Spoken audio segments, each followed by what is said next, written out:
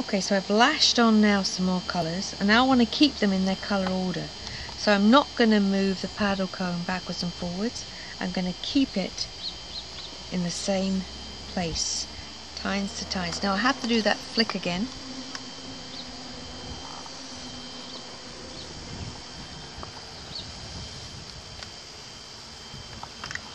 And you see how different that looks now. See, I've got my same, I've got my colour blocks Mm -hmm. on this paddle comb.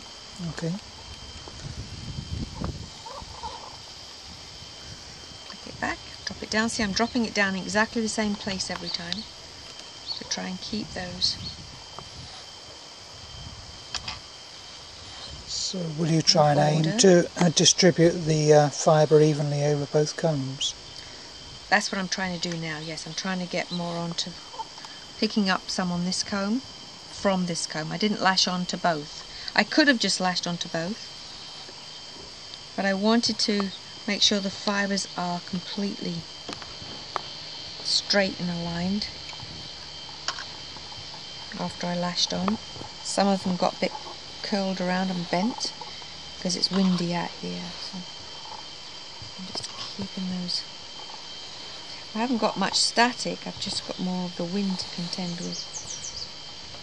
But if I got static going on, then I would spritz the fibres just to hold them together.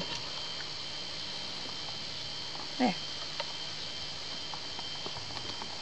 So now what happens when I when I spin, I'm going to go through the colour blocks and back again. Order. So I've got green as the first one on this paddle comb and green as the first one on that paddle comb. Okay. Thank you. Okay, so now I've finished my paddle combs. I'm going to pack them away. So I need to pack them away safely. So I want to interlock those tines together so they don't damage each other or the wood. So now I'm just going to put the tines against tines and just push. Just enough to hold them just together? Just enough to hold them together so they actually stay together both mm. sides. And that's what they look like. So once they go in the bag, once they're packed away, they're safe. They're not going to catch anyone, they're not going to damage each other. And They'll be ready for next time.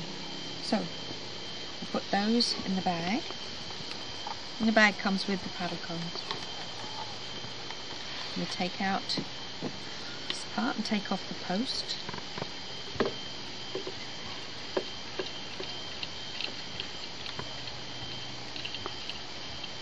a long screw.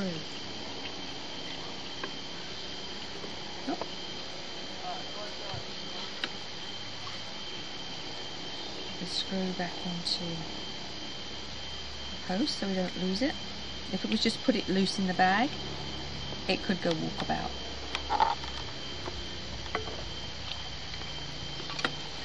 So there is a special place for this post and that's right by where the drawstring is. You go down a couple of inches, there's the special sleeve. Okay, like a pocket.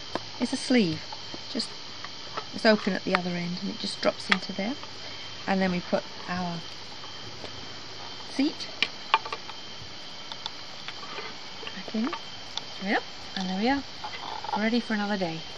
Safe and secure. Great. Thank you.